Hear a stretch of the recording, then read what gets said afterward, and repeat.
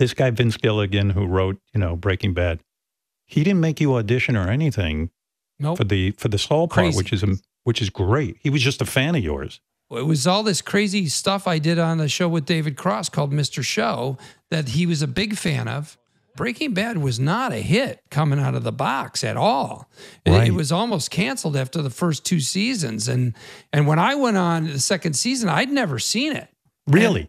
I'd never seen the show. I'd only seen the billboard with uh, Walter White in his underwear. And I called a, a friend. I thought I'd have to call five or six friends to ask them, "What is this thing? Should I do it?"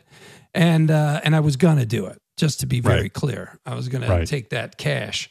But call me crazy, Bob. I would think if I got offered a job on a TV show, I would go out of curiosity and go watch the show a couple of episodes. No, Well, I did watch it on the flight. Oh, to fucking Albuquerque. I popped the DVD into my little computer and uh, watched 10 minutes of it because I wanted to make sure I got the tone right. I understood it was a drama. right? And I also saw that my character was pretty funny. So like how did the how does it marry up, you know? And then of course I dialed it in a lot more when I got in a room with Bryan Cranston and he's fucking doing a master class 10, you know, two feet from my face. And I'm like, I better amp up my game here and show up. But I I, I was uh I, I figured it out. do you have to stick to the exact writing the way it is, or were you Yeah. called? Oh, you do. No, no, So no, you- no, no. This Oh, isn't no comedy. ad-lib. This Right. isn't comedy.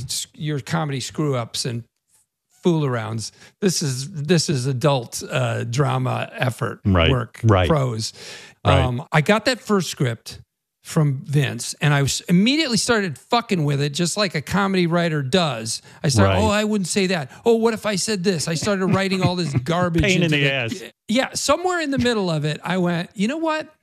Hey, what if you tried to be an actor? What, what if you just tried? Would, would that be okay once in your life, you fucking clown?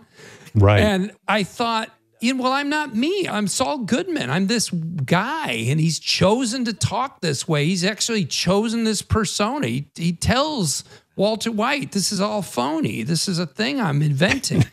so why don't I try and and just really commit to this person who doesn't talk like me, doesn't act like me, doesn't dress like me, hasn't doesn't have my priorities.